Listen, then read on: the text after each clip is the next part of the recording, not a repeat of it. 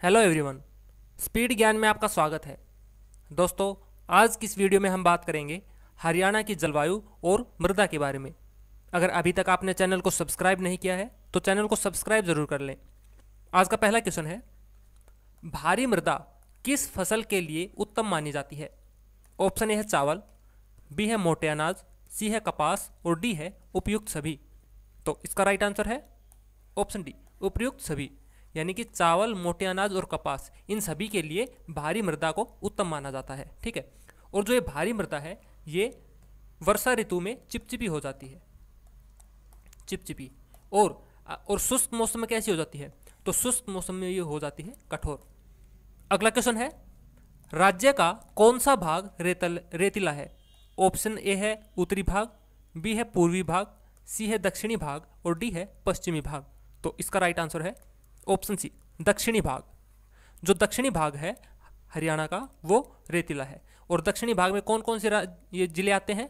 तो दक्षिणी भाग में आते हैं रेवाड़ी, मेवात, महेंद्रगढ़, ठीक है? ये सभी ज़िले दक्षिणी भाग में आते हैं। अगला क्वेश्चन है, केंद्रीय मृदा लवणता अनुसंधान संस्थान हरियाणा में कहाँ स्थित है? ऑप्शन ए है रोहतक, बी है करनाल सी है भिवानी और डी है कुरुक्षेत्र। तो इसका राइट आंसर है ऑप्शन बी करनाल में। जो केंद्रीय मृदा लवणता अनुसंधान संस्थान है, वो है करनाल में। और इस संस्थान की स्थापना कब हुई थी? तो इसकी स्थापना हुई थी 1969 में, ठीक है? जो केंद्रीय मृदा लवणता अनुसंधान संस्थान है, इसकी स्थापना हुई थी 1969 में। अगला क्वेश्चन है, हरियाणा के मध्यवर्ती भाग में कौन सी मृदा पाई जाती है? ऑप्शन ए है दोमट मृदा बी है बकलोल मृदा सी है चिकनी मृदा और डी है रेतीली मृदा। तो इसका राइट आंसर है ऑप्शन ए दोमट मृदा। ठीक है? हरियाणा के मध्यवर्ती भाग में पाई जाती है दोमट मृदा। और मध्यवर्ती भाग में कौन कौन से ज़िले आते हैं? तो ये आते हैं जींद, कैथल, सोनीपत, गुरुग्राम तथा कुरुक्षेत्र। ठीक है? ये सभी आते हैं मध्यवर्ती भाग में और दोमट मृदा पाई जाती है इनमें, ठीक है? अगला क्वेश्चन है, निम्न में से कौन सी मृदा को हरियाणा में घर व कंगी कहा जाता है? ऑप्शन ए है शिवालिक की मृदा बी है गिरिपादीय मृदा सी है चट्टानी तल की मृदा और डी है उपरोक्त सभी। तो इसका राइट आंसर है ऑप्शन बी गिरिपादीय मृदा। इसको हरियाणा में घर व कंगी कहा जाता है, ठीक है? और जो ये ग्रीपादी मृदाएँ हैं, ये कहाँ कहाँ पाई जाती है? ये पाए जाते हैं कालका एवं नारायणगढ़। जो कालका और नारायणगढ़ तहसीलें हैं, इनमें। कालका कहाँ है? कालका है पंचकुला में, ठीक है? और जो नारायणगढ़ है, ये है अंबाला में। अगला क्वेश्चन है, हरियाणा प्रदेश में वर्षा का वार्षिक वितरण औसत कितना है? ऑप्शन ए है 20 से 30 सेंटीमीटर, बी है 40 से 60 सेंटीमीटर, सी है 60 से 80 सेंटीमीटर और डी है 70 से 90 सेंटीमीटर। तो इसका राइट आंसर है ऑप्शन बी 40 से 60 सेंटीमीटर। ठीक है? हरियाणा का जो वार्षिक वर्षा औसत है, वो है 40 से 60 सेंटीमीटर। अगला क्वेश्चन है, हरियाणा में जुलाई से सितंबर महीने के मध्य किन पवनों द्वारा वर्षा होती है? ऑप्शन ए है व्यापारिक पवन बी है पश्चिमी विक्षोभ सी है दक्षिण पश्चिमी मानसूनी पवन और डी है पछुआ पवन। तो इसका राइट आंसर है ऑप्शन सी दक्षिण पश्चिमी मानसूनी पवन, ठीक है? इसके द्वारा हरियाणा में जुलाई से सितंबर महीने के मध्य वर्षा होती है, ठीक है? और राज्य में 80 प्रतिशत वर्षा 80 प्रतिशत वर्षा बंगाल की खाड़ी से आने वाली जो दक्षिणी पश्चिमी मानसूनी पवन है इन इनके द्वारा होती है। और ये कब होती है? जुलाई से सितंबर के बीच, ठीक है? अगला क्वेश्चन है किस मृदा में दालों की अच्छी कृषि की जाती है? ऑप्शन ए है अति हल्की मृदा, बी है भारी मृदा, सी है दोमट मृदा और डी है हल्की दोमट। तो इसका राइट आंसर है ऑप्शन ए अति हल्की मृदा। ठीक है? अति हल्की मृदा में दालों की अच्छी कृषि की जा सकती है। ठीक है? और जो ये अति हल्की मृदा है, ये हरियाणा में कहाँ पाई जाती है? ये पाई जाती है सिरसा के दक्षिणी भाग में। ठीक है? फतेहाबाद में और महेंद्रगढ़ व हिसार, ठीक है?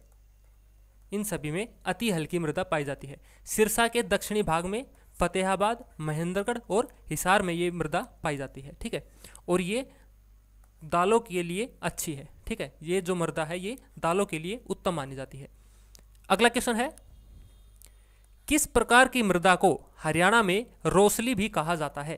ऑप्शन ए है भारी दोमट मृदा, बी है मध्यम मृदा, सी है गिरिपादीय दोमट मृदा और डी है हल्की मृदा। तो इसका राइट आंसर है ऑप्शन डी हल्की मृदा। ठीक है? हल्की मृदा को हरियाणा में रोसली भी कहा जाता है, रोसली।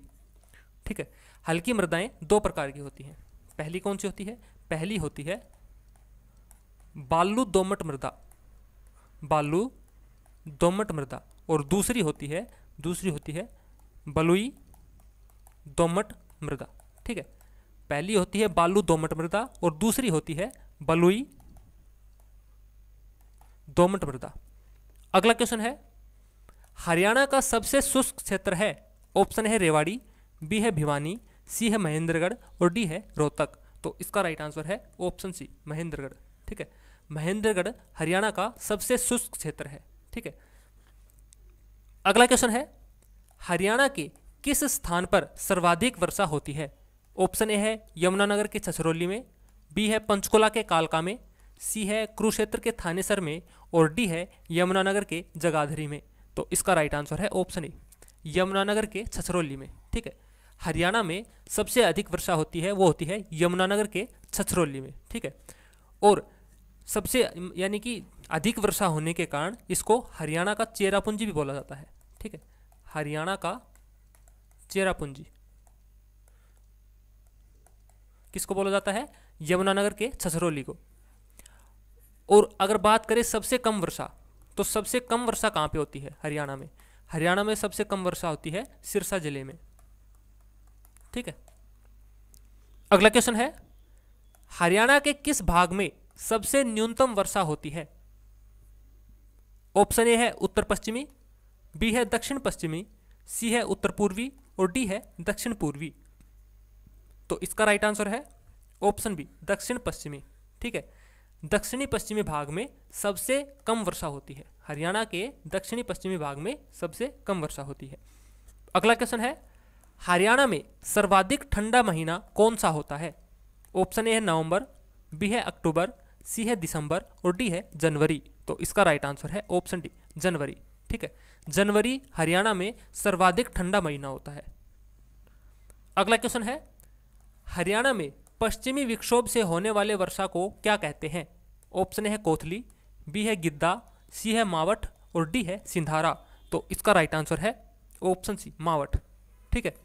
हरियाणा में पश्चिमी विक्षोभ से होने वाली वर्षा को बोला जाता है मावट और राज्य में 20 प्रतिशत जो वर्षा होती है, वो मावट के द्वारा होती है। ठीक है? ये कब होती है? ये होती है जनवरी फरवरी में। जनवरी फरवरी में। ठीक है? पश्चिमी विक्षोभ के कारण जो वर्षा होती है, उसको क्या बोलते हैं? मावठ। अगला क्वेश्चन है। पश्चिमी विक्षोभ के कारण हरियाणा में किस ऋतु में वर्षा होती है? ऑप्शन ए है ग्रीष्म ऋतु। बी है शरद ऋतु, सी है शीत ऋतु और डी है वर्षा ऋतु। तो इसका राइट आंसर है ऑप्शन सी शीत ऋतु। ठीक है? ठंड के महीने में जो जनवरी और फरवरी, जनवरी फरवरी में जो ठंडा महीना होता है, उसमें पश्चिमी विक्षोभ के कारण हरियाणा में वर्षा होती है, जिसको बोलते हैं मावट ठीक है? और इस ऋतु में जो औसत तापमान होता है, तापमान, वो कितना होता है? औसत तापमान होता है 12 डिग्री सेल्सियस। और अगर बात करें न्यूनतम तापमान की, न्यूनतम तापमान तो दिसंबर जनवरी में होता है, वो होता है तीन डिग्री से चार डिग्री सेल्सियस के बीच में, ठीक है? दिसंबर जनवरी में जो न्यूनतम तापमान है, वो होता है तीन डिग्री से चार डिग्री सेल्सियस के बीच में। अगला क्वेश्चन है, हरियाणा के मैदानी भाग में मुख्यतः किस प्रकार की मृदा पाई जाती है? ऑप्शन है पीले भूले, भूरे रंग की उपजाऊ मृदा, बी है पथरीली मृदा, सी है रेतीला मृदा और डी है बलुई दोमट मृदा। तो इसका राइट आंसर है ऑप्शन ए पीले भूले, पीले भूरे रंग की उपजाऊ मृदा। ठीक है? हरियाणा के मैदानी भाग में मुख्यतः पाई जाती है, वो है पीले भूरे रंग की उपजाऊ मृदा। अगला क्वेश्चन है, हरियाणा के किस भाग में हल्के भूरे रंग की रेतीली मृदा पाई जाती है?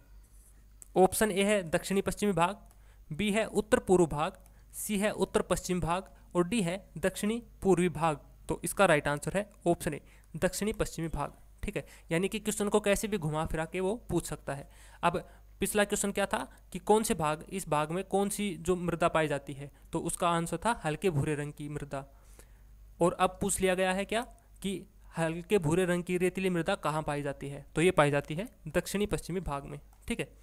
अगला क्वेश्चन है, हरियाणा की जलवायु उपोषण कटिबंधीय शुष्क महाद्वीपीय है, जिसका प्रमुख कारण है। ऑप्शन ए है नदियों की कमी के कारण। बी है समुद्र से दूर होने के कारण, सी है हिमालय पर्वत से दूरी के कारण, और डी है लैंड लॉक प्रदेश राज्य होने के कारण। तो इसका राइट आंसर है ऑप्शन बी समुद्र से दूर होने के कारण। ठीक है, समुद्र से दूर होने के कारण हरिया, हरियाणा की जलवायु है, वो उपोषण कटिबंधीय शुष्क महाद्वीपीय है। ठीक है, अगला क्वेश्चन है, हरियाणा में मुख्य रूप से कैसी जलवायु पाई जाती है? ऑप्शन ए है उपोषण स्टेपी जलवायु बी है आर्द्र उपोषण जलवायु, सी है टुंड्रा जलवायु और डी है ए और बी। तो इसका राइट आंसर है ऑप्शन डी ए और बी यानी कि उपोषण स्टेपी जलवायु और आर्द्र उपोषण जलवायु, ये दोनों ये दोनों जलवायु हरियाणा में पाई जाती है। ठीक है? अगला क्वेश्चन है, डॉक्टर व्लादिमीर कोपेन ने हरियाणा में कितनी जलवायु का उल्लेख किया है? ऑप्शन ए है एक बी है तीन सी है दो और डी है पाँच। तो इसका राइट आंसर है ऑप्शन सी, दो। ठीक है? डॉक्टर व्लादिमिर कोपेन ने हरियाणा में दो जलवायु का उल्लेख किया है। ठीक है? अगला क्वेश्चन है, हरियाणा में ग्रीष्म काल की अवधि कब से कब तक होती है? ऑप्शन ए है मार्च से जून तक, बी है मध्य मार्च से जून तक, सी है अप्रैल से जुलाई तक और डी है मार्च से मई तक। तो इसका राइट आंसर है ऑप्शन बी, मध्य मार्च से जून तक। ठीक है? मध्य मार्च से जून तक हरियाणा में ग्रीष्म काल की अवधि होती है। ठीक है? और ग्रीष्म काल के दौरान दक्षिण व दक्षिणी पश्चिमी जिलों में जो हवाएँ चलती हैं, उनको क्या बोला जाता है? लू बोला जाता है, ठीक है? जो शुष्क हवाएँ चलती हैं, उनको बोला जाता है लू, ठीक है? गर्म, जो गर्म व शुष्क हवाएँ हैं, उनको क्या नाम दिया गया है? लू नाम दिया गया है। कब चलती है? ये ग्रीष्म ऋतु के दौरान दक्षिण व दक्षिणी पश्चिमी जिलों में चलती है। अगला क्वेश्चन है, हरियाणा में सर्वाधिक गर्म जिला कौन सा है? ऑप्शन ए है महेंद्रगढ़ बी है मेवात, सी है झज्जर और डी है हिसार। तो इसका राइट आंसर है ऑप्शन डी हिसार। ठीक है? हिसार जिला हरियाणा का सर्वाधिक गर्म जिला है। ठीक है? इसका जो अधिकतम तापमान है, वो मई, जून के दौरान, मई, जून के दौरान जो इसका अधिकतम तापमान है, वो छियालीस डिग्री से 48 डिग्री सेल्सियस तक है। ठीक है? छियालीस डिग्री से 48 डिग्री सेल्सियस तक हो जाता है। अगला क्वेश्चन है, हरियाणा में जलवायु हरियाणा में जुलाई से मध्य, जुलाई के मध्य से सितंबर तक कौन सी ऋतु पाई जाती है? यानी कि जुलाई से सितंबर तक कौन सी ऋतु पाई जाती है? ऑप्शन ए है वर्षा ऋतु, बी है शीत ऋतु, सी है ग्रीष्म ऋतु और डी है इनमें से कोई नहीं। तो इसका राइट आंसर है ऑप्शन ए वर्षा ऋतु, ठीक है? मध्य जुलाई से सितंबर तक हरियाणा में वर्षा ऋतु होती है, ठीक है? अगला क्वेश्चन है, हरियाणा के किस ज़िले में लाल चेनस्टन मृदा पाई जाती है? ऑप्शन ए है रोहतक, बी है यमुनानगर, सी है सिरसा और डी है भिवानी। तो इसका राइट आंसर है ऑप्शन बी यमुनानगर। ठीक है? यमुनानगर में लाल चेनस्टन मृदा पाई जाती है। ठीक है? और मृदा अपर्दन, जो मृदा अपर्दन होता है, उसको क्या बोला जाता है? इसको निर्दयी शत्रु निर्दयी शत्रु या रेंगती मृत्यु भी कहा जाता है। ठीक है? निर्दयी शत्रु या रेंगती मृत्यु किसको बोला जाता है? मृदा अपर्दन को। अगला क्वेश्चन है, निम्नलिखित में से भारी तथा बहुत भारी मृदा को क्या कहा जाता है? ऑप्शन ए है खाद्र मृदा बी है रोसली मृदा सी है डाकर मृदा और डी है इनमें से कोई नहीं। तो इसका राइट आंसर है ऑप्शन सी डाकर मृदा। ठीक है? भारी या बहुत भारी मृदा को बोला जाता है, डाकर मृदा। ठीक है? और जो ये मृदा है, ये मुख्यतः कहाँ पाई जाती है? ये पाई जाती है थानेसर जगाधरी व फतेहाबाद में। ठीक है? थानेसर, जगाधरी व फतेहाबाद में। दोस्तों, चैनल को सब्सक्राइब करने के साथ साथ बेल आइकन को भी ज़रूर प्रेस कर दें और जो भी आपके डाउट्स हों, वो आप कमेंट करके ज़रूर बताएँ। Thank you.